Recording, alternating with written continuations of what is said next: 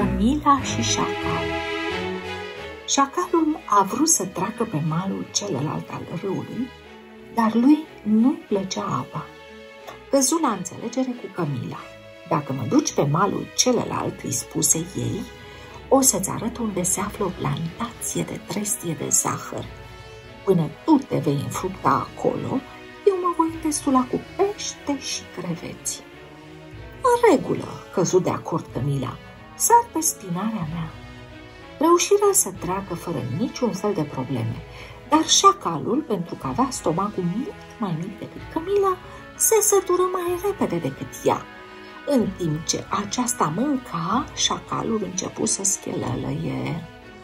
Auzind strigătele, s-au adunat țărani înarmați cu bâte. Șacalul fiind mic, reuși să dispară, dar Camila nu scăpă de bătaie, fiindcă plantația de trestie de zahăr era a țăranilor, iar ei din asta trăiau. Erau supărați pe Camilă, fiindcă le distrusese recolta. Scăpând din mâinile țăranilor, Camila fugi spre râu.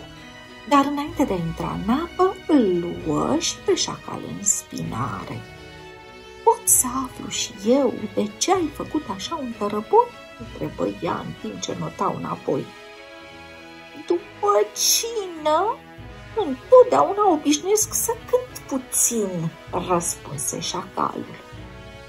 Iar eu știi ce obișnuiesc să fac după cină? Mă joc în apă, eu întoarse Camila și se afundă rău. Astfel, șacalul nu scăpă de o baie adevărată în apele râului. Ud până la piele și scribulit. Șacalul înțelese că gluma făcută de el a fost total nepotrivită. Morala?